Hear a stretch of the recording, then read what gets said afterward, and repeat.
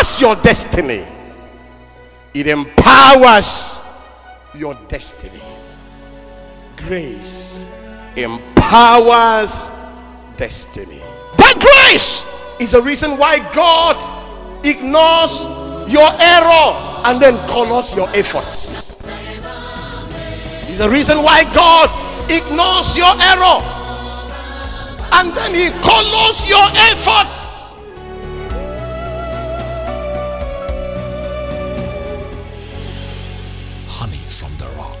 With Cyril Bassey. Always a life changing experience.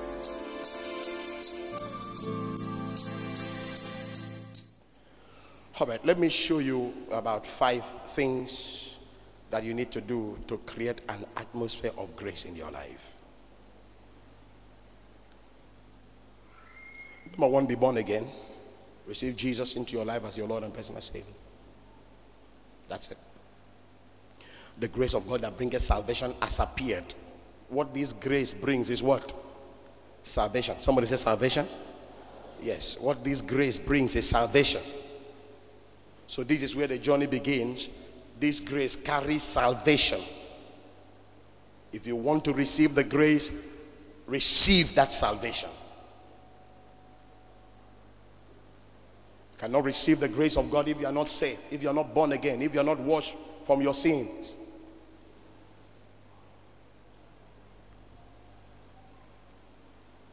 So you create an atmosphere.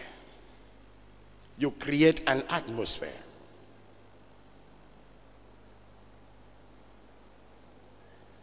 I've heard people say, well, you don't even that you don't need to do anything for you to receive the grace of God. No, no, no, no, no, no, no, no, no, no, no. You need. Because today you understand that there are different kinds, different dimensions of grace. Bible talks about about about about about about 22 or there about different kinds of grace. So it depends on the grace that you're looking at. Paul said, The grace was bestowed upon me, and I labored more abundantly, more than them all.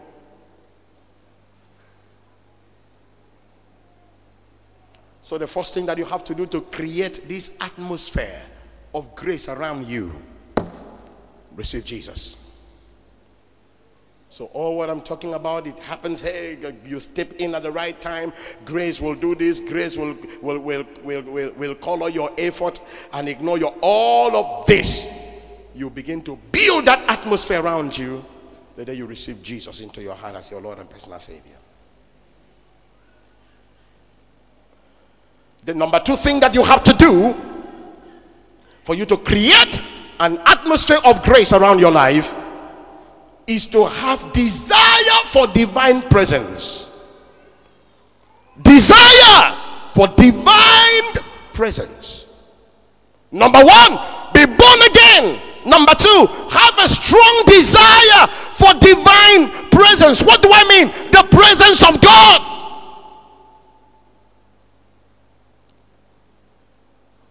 Genesis 39, verse 3, 4, and 5. And his master saw that the Lord was with him. Talking about Joseph. His master saw that the Lord was with him. And that the Lord had made all that he did to prosper. Verse number 4. And Joseph found grace in his sight. And he served him. And the Lord made him overseer over the house and all that he had he put into his hand. And it came to pass from that time that he had made him overseer in his house and over all that he had that the lord blessed the egyptian's house. But for emphasis look at verse number three and five again. And the master saw that the lord was with him and that the lord made all that he did to prosper in his hand. And joseph found grace in the sight and in his sight rather. When he saw that the presence of god was around him the bible says he had grace from he had grace from his sight. when he saw that the presence of god was with joseph that automatically released joseph into a place of divine grace. He obtained grace from the master. When the presence of god overshadows your life then you will automatically impose grace upon anybody who is your master. The increase of the presence of God is equal to the increase in what? The grace that you carry. When the presence increases, favor increases. When the presence increases, grace increases. Number three, grow in knowledge. Grow in knowledge. Desire knowledge. Second Peter 1 verse 2 grace be multiplied, grace and peace be multiplied unto you through the knowledge of God. Through the knowledge of God. Grace and peace be multiplied unto you through the knowledge of God and of our Lord Jesus. Grace and peace be multiplied unto you through the knowledge of God. Through the knowledge, through the knowledge, through the knowledge. In other words, the more you know God, the more grace multiplies. Hello? Through what? Oh, talk to me, church. Through what? Through what? Through the knowledge of God. So the more you know God, the more grace multiplies. The more you study to show yourself approved unto God, the more grace multiplies. The more you spend time to know God, the more you grow in the, the grace be multiplied through the knowledge of God. Through the knowledge. That's why you have to study the word. That's why you have to buy tapes, buy materials, listen to the word of God. Through the knowledge of God. Know God. Desire to have a higher level of knowledge about God. He said to that woman, You worship, you know not what you worship. John 4. He said, You worship, you know not. Which means there are a lot of people that worship God without knowing God. Amen. They don't know God, but they are worshiping God. Bible speaking about Samuel. The Bible said, and the child was saving in the house of the Lord, but the child had not yet known the Lord. But he was saving. Samuel was saving, but he had not yet known the Lord. This could be the reason why a lot of people are in the house of God serving God, but yet no grace in their life. Because they don't have the knowledge of God. He said to that woman in the book of John, chapter 4, he said, You worship, is it 424 or thereabout? He said, You worship and you know not what you worship. And there could be so many people in the house of God who worship and they don't know who they worship or what they worship. That's why every Sunday morning they come to church, every Thursday they come to church. Why? Because my friend has come. Oh, because it's a traditional that we have to go to church every Sunday. But someone asks you, why did you go to church? You don't know why. You don't know why. That's why you are deficient of grace. Somebody say knowledge. Say it again. Say knowledge. So why would you not come to learn to have knowledge of God? Why would you not come to service? Why would you not come to church? But you are praying for the grace. Yes. The reason why that veil was broken was so that those who could not enter could do what? Could come. He said, Come, all ye that labor and are heavy laden, I'll give you rest. Come to my presence. And then you're say born again and you then come for midweek service. What kind of born again? What kind of born again is this? You say you're born again and then you don't give God priority in your life. What kind of born again is this? The book of Ephesians, it said, Grace be multiplied. Grace, is it grace be, be unto everyone that loveth our Lord Jesus Christ. I think there's a scripture like that. He said, Grace be unto everyone that loveth our Lord Jesus Christ. Ephesians 6, verse 24. Your love for him, your passionate love for him. Look at it. 624. Grace be with you all. Grace be with all them that love our Lord Jesus Christ in sincerity. Grace be with all them that love our Lord Jesus Christ in what?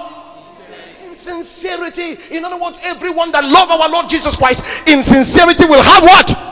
The grace of God. Love, passionate love for our Lord, passionate love for His work, passionate love for God. I don't mean love that you're being compelled. Someone has to compel you to save God. Someone has to compel you to, to worship God. Someone has to compel you to come to the house of God. This is not what I'm talking about. I mean, passionate, sincere love grace will forever be multiplied to everyone that loveth our Lord Jesus Christ in sincerity, not in hypocrisy. The day you say it from your heart, not from your mouth, nothing can separate me from the love of God. He will know. All this one you're talking with your mouth. Because you heard somebody say, Ha, nothing shall separate me from the love of God. He knows. He knows that if, PAM! have denied him. Just imagine. Just a little disappointment that you had, you couldn't come to church. Just a little disappointment. There's something that you expected, the thing did not come. Maybe a job, the job did not come. You didn't come to church. Or somebody just woke up and somebody broke your heart. Then, because of that, someone has broken my heart. So you take the case against God. But when God was warning you, you didn't hear. You see? You met a little disappointment in your life and you're angry. You're angry with God. That means you don't love Him. You don't love Him. Grace be with all them that love our Lord Jesus Christ in sincerity. in sincerity. I talked about being born again. I talked about commanding divine presence. I talked about growing in knowledge. And then you want to walk in grace, overcome bitterness. Overcome bitterness. You can never walk in grace when your heart is bitter. Hebrews 12, verse 15. You can't walk in the grace of God when you have a bitter heart. That's why you have to forgive men. Look at it. It said, looking diligently, lest any man fail of the grace of God. Look at it. Look at it. Don't, miss me here. Looking diligently, lest any man fail of the grace of God Read the next line, everybody. Want to go? Lest any root of bitterness springing up trouble you and thereby many. How will someone fall from the grace of God when a root of bitterness springs up in your heart? Lest any man fail of the grace of God, semicolon through any root of bitterness springing up in your heart Anytime your heart is bitter, you block the grace of God from being expressed in your life. You're bitter with your friend, you're bitter with your partner, you're bitter with even your enemies. Any root of somebody say any root of bitterness. Any bitterness, any bitterness. Some are even bitter with their pastor. It's possible. Some are bitter with pastor, some are bitter with the church. Mm-hmm. Maybe because pastor rebuked them. Okay, get it. So they sat down. It was a Kongwo. You know, the pastor doesn't even know. So you're hurting yourself. and you know, most of the time, the person that you're bitter with don't even know that you're bitter. So the person is dancing and you're killing yourself. Person is rejoicing. Oh, hallelujah, the Lord is good, sincerely from his heart. And then you're sitting there and to talk. Mm, mm. Listen, he said, listen, he said, look diligently. Somebody said diligently. Look diligently, lest any man fail of the grace of God. How? By a root of bitterness entering your heart. Because when bitterness enters your heart, the grace goes.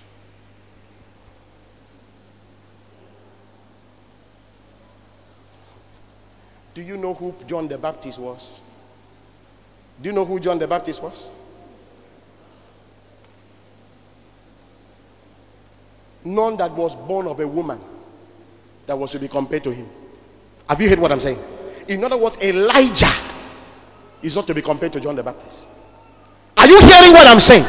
Elijah, David, he said, all born of a woman was not to be compared to John the Baptist. But the same John the Baptist, a woman cut his head because of bitterness. The grace for protection was taken away from him. When you go back home, study that scripture. Of all that is born of a woman, none like him.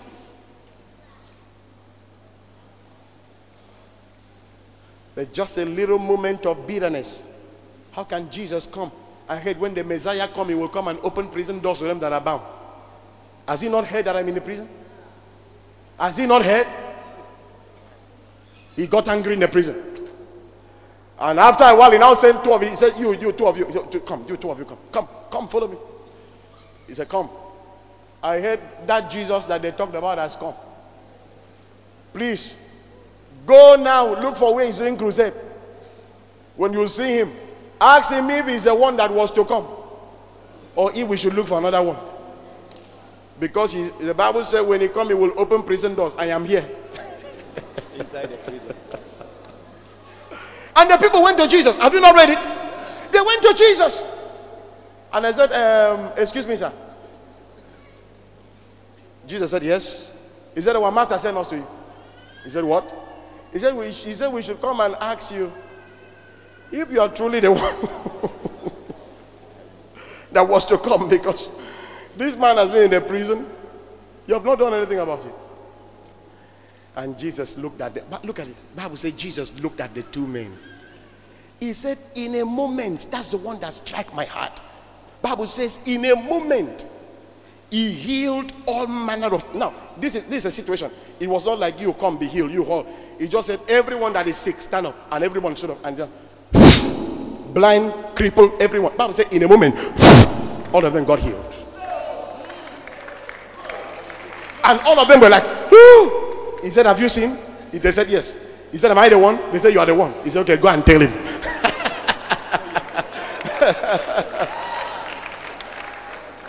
he said, Go and tell him. He said, Not that I wouldn't have done that to him, but offense.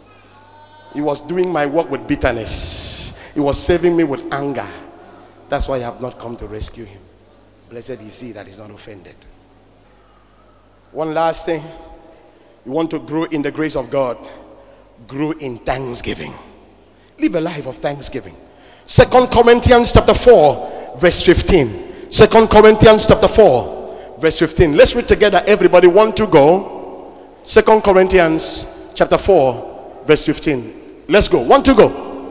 For all things are for your sake, that the abundance of grace might through what?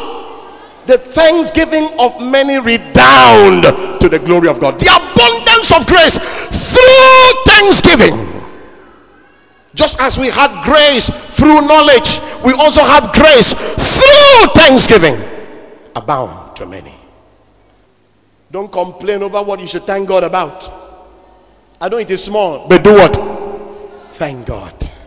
It's not the kind of job that you want to do but thank God for that little job that you're given 3,000 naira. When you give him thanks, then grace for a bigger job is going to come. Can somebody shout hallelujah here? When you thank God for a little, that grace might abound through thanksgiving. Rejoice. It was when Jesus took the little bread and the fish, lifted it up to heaven, and gave thanks. The Bible says, and there was multiplication. You want God to multiply grace. You want God to multiply money in your hand. You want God to increase your greatness. You want God to enlarge you. Then let it be through thanksgiving. God's people are so unthankful. It's the spirit of an end time that God will do so much for you. You're still comparing yourself with other people, and then you're unthankful. Bible says in the last days, men will be unthankful. And they beg God, why, why, why that? But why, but why God, but why God, why but God, why? Uh, if if you love, if you really, if you're really God, why, why is that sister? Why is that sister uh, there now? I am here, and we started together. But look at her, and then you forget that in life there are slow starters. In life there are fast starters and what? And slow starters.